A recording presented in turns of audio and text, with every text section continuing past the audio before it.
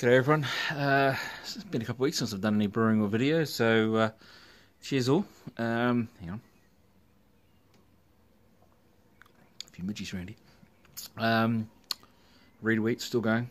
Uh, did have a really good head on it, but it um, sort of died back while I've been getting things going out here. Uh, things been happening. Uh, got a saison.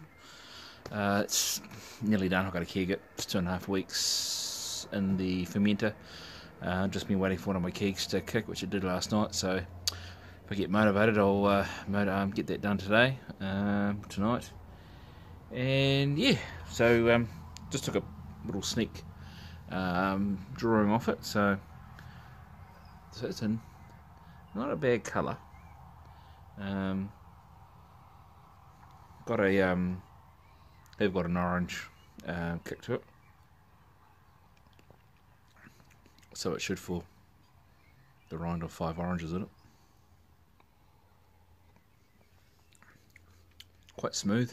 I think I could have gone with more cardamom. I went with five grams, and um, uh, recipe was uh, from ten to fifteen, so I'll definitely go that mid range next time, um, improve it a little bit more. So, but yeah, no, it's really good. Um, just started a homebrew club in our area, so that's been the other thing I've been sort of busy with the last couple of weeks.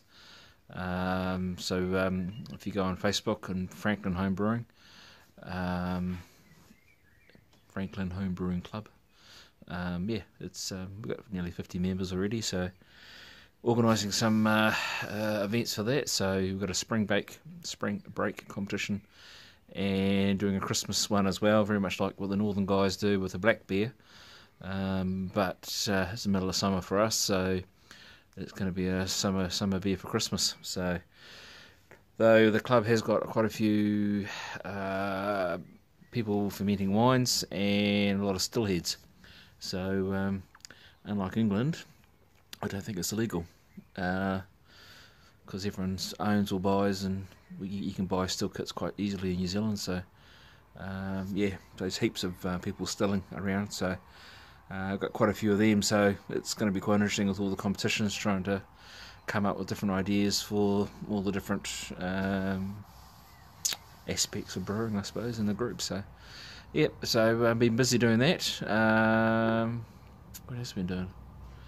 going to be short of time for the next couple of weeks. I'm just getting into my busy season on the farm, so probably the next six weeks is going to be sort of 18 hour days. So, what to do?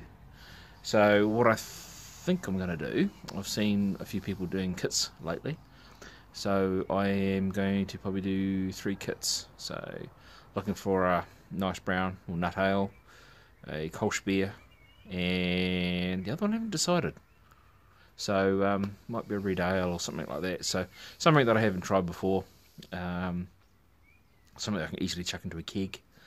Um, Kolsch beer, I might do a few things different with that because I might use it for my spear competition if I don't um, get myself uh, going. I could use the saison, but I'll probably end up using the saison for uh, the spring um, competition. So um, which will be in six weeks, eight weeks. So we'll have that. So, but yeah, um, yeah, it's all busy, busy, busy, and uh, just trying to spread myself around. So I, I ain't going to go on too long tonight because uh, starting to get bit dark out here. So just came out here and enjoying the nice, uh, peaceful night and having a beer. And I just thought, oh crap, it's a good time to do a video. So um, cheers all, and uh, I'll try and keep in touch the next few weeks.